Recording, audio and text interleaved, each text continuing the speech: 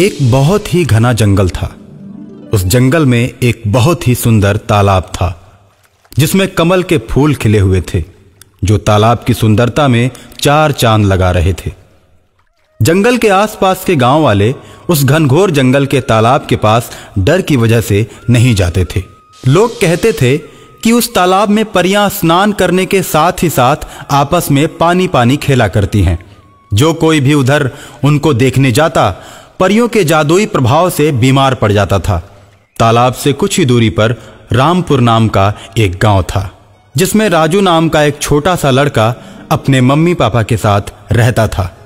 उसके mummy papa बहुत ही गरीब थे, इसलिए उसके लिए खिलौने भी नहीं खरीद पाते थे।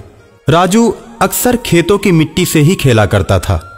मिट्टी से टेढ़े मेढ़े खिलौने तैयार करके वो खूब खुश हो जाता था। बेटा राजू मिट्टी मिट्टी नहीं खेला करते। देखो तुम्हारे कपड़े कितने गंदे हो गए। माँ मैं मिट्टी मिट्टी नहीं खेलूँगा लेकिन मेरे लिए खेलने के लिए खिलौने तो ला दो। ठीक है मैं बाज़ार से जाकर खिलौने ला दूँगी। माँ की बात सुनकर राजू खुश हो जाता है। राजू के मम्मी पापा उसे घर पर अकेले ही छोड़कर बाज़ार की तरफ़ जाते हैं और जाते हुए राजू से कहते हैं बेटा इधर उधर मत जाना। और जंगल में उस तालाब की तरफ़ तो बिल्कुल भी मत जाना। ठीक है पापा। मैं घर छोड़कर कहीं नहीं जाऊँगा। मम्मी पापा के जाने के बाद राजू के मन में तालाब और जंगल घूमने लगते हैं और वो उन्हें देखना चाहता है। राजू खुद को रोक नहीं पाता और जंगल की तरफ़ चल देता है और कुछ ही दूरी पर वो परियों को स्नान करते हुए देखता है। सुंदर सुंदर प्यारी प्यारी परियों को देखकर राजू खुश हो जाता है। लेकिन डर की वजह से उनके पास नहीं जाता है। परियाँ पानी पानी खेलती हैं और शाम होते ही वो गायब हो जाती हैं। जाते समय परियों को ख्याल नहीं रहता, पर एक छोटी परी तालाब में छूट जाती है। छोटी परी चल तो सकती है, लेकिन उड़ नहीं सकती, क्योंकि उसके पंख बहुत ही छोटे हैं। राजू उस नन्ही परी को अकेले देखता है तो उसके पास जाता है और उससे कहता है, बहन, तुम्हारा नाम क्या है? परी हूँ और मेरी मम्मी का नाम सोन परी है। तुम हमारी दोस्त बनोगी। हम लोग साथ साथ खूब खेलेंगे। परी और राजू खेलने लगते हैं। परी राजू के साथ खेलते खेलते उसके घर आ जाती है।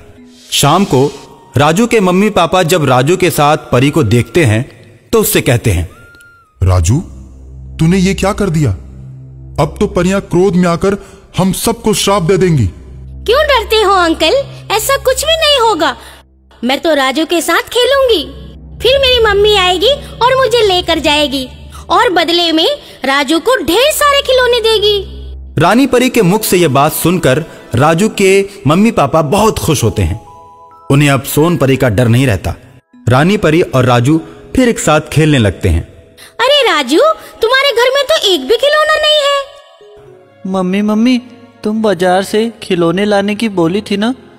मेरे खिलौने कहाँ हैं? बेटे आज मेरे पास पैसे नहीं है।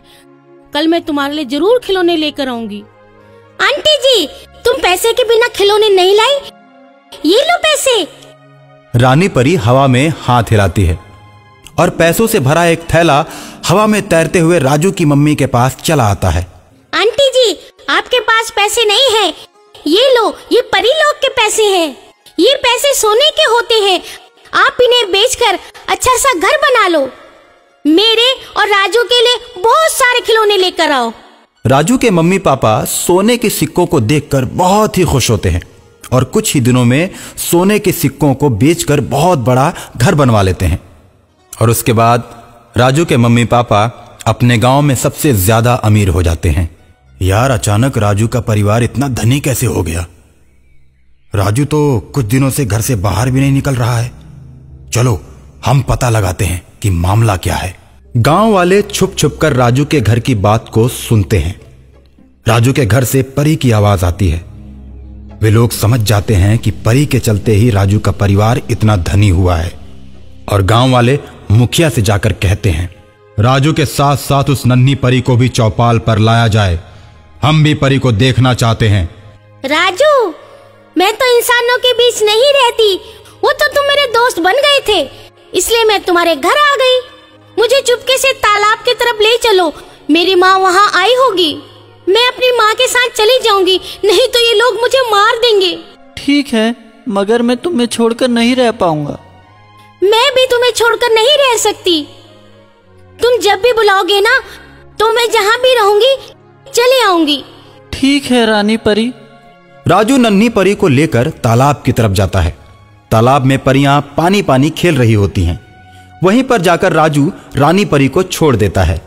रानी परी को छोड़कर राजू बहुत ही रोता है और भारी मन से अपने घर की तरफ़ चल देता है। राजू जब अपने घर आता है तो घर में मम्मी पापा को न पाकर चौपाल की तरफ़ जाता है। गाँव वाले उसके मम्मी पापा को पेड़ से बांधकर उससे पूछते हैं, बता, परी कहाँ है? हम दोनों नहीं जानते कि परी कहाँ है। और वो राजू के साथ कहाँ गई हुई है? हम्म ठीक है। जब तक राजू परी को लेकर नहीं आ जाता हम लोग इंतज़ार करेंगे। और जैसे ही वे दोनों आएँगे तुम लोगों को खोल दिया जाएगा। राजू चौपाल पर आता है और अपने मम्मी पापा को बंधा हुआ देखकर मुखिया से कहता है प्रधान जी आपने मेरे मम्मी पापा को क्यों बांधा है? ये तो बहुत गलत बात है। उन्होंने कौन सा अपराध किया है? क्या आपके गाँव में गरीब का अमीर हो जाना अपराध माना जाता है? अरे ये तो बहुत बोलता है। इसे भी बाँध। दो गाँव वाले राजू को उसके मम्मी पापा के साथ बाँध देते हैं। राजू संकट में पड़कर रानी परी को याद करता है। मम्मी मेरा दोस्त संकट में पड़ा हुआ है। उसकी मदद करो ना। रानी परी की बात सुनकर सोन परी अपनी सहेलियों के साथ चौपाल पर आ जाती है और मुखिया सहित पूरे गाँव वालों को जादुई छड़ी से बाँध देती है। राजू और उसके मम्मी पापा को आज़ाद कर देती है। गाँव वाले राजू से माफ़ी मांगने लगते हैं और कहते हैं कि दोबारा ऐसी गलती नहीं करेंगे। राजू सोनपरी से कहकर गाँव वालों को छुड़ा देता है।